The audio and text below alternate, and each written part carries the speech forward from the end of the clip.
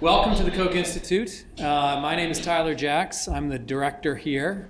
I recognize some faces from this afternoon. Um, this has been a, a, busy and extremely interesting day already here at the Koch Institute. This afternoon we hosted a symposium on ovarian cancer, um, which featured an outstanding group of speakers, uh, mostly from the Koch Institute's ranks, but others as well, representing their perspectives on this important disease, uh, including, very importantly, the perspective of survivors, those who are undergoing treatment for the disease, and family members of those individuals as well. And it was a very powerful uh, set of presentations. Um, so, for those of you who are here for that, thank you for being here. We chose to feature ovarian cancer for this symposium this afternoon because September is Ovarian Cancer Awareness Month, uh, and we wanted to highlight some of the important work that's taking place for that cancer of women.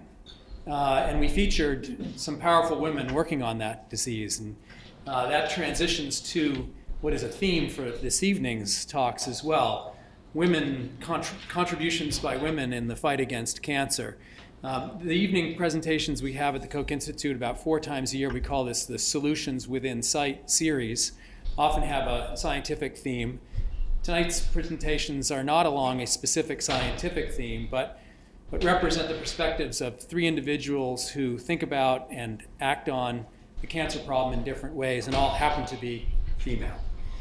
Um, our first presentation will be from Marge Foti, uh, and I'll be introducing Marge in just one second.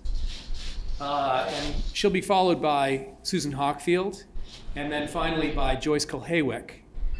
And after Joyce is done, we'll take questions from the audience for all three speakers. So we will not have questions after each uh, presentation.